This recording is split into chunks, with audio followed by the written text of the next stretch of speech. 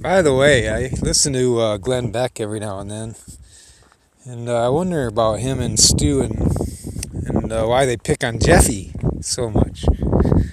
And is is it just part of the uh, is it part of the act, or does or does I wonder if Jeffy actually takes offense against that because they really they really uh, talk down to him condescendingly, even uh, emasculating him, and uh, unless it's all agreed upon part of the act, I wouldn't I wouldn't like it if I was Jeffy. Even being called Jeffy, I mean he's a grown man, isn't he? I don't know how old he is, but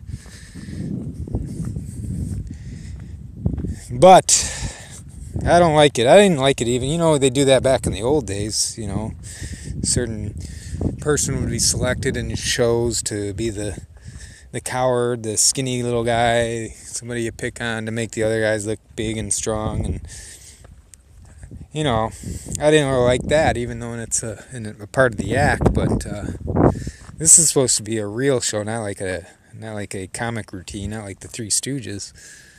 So I wouldn't like it if I was Jeffy. I would say, take this job and shove it, Glenn.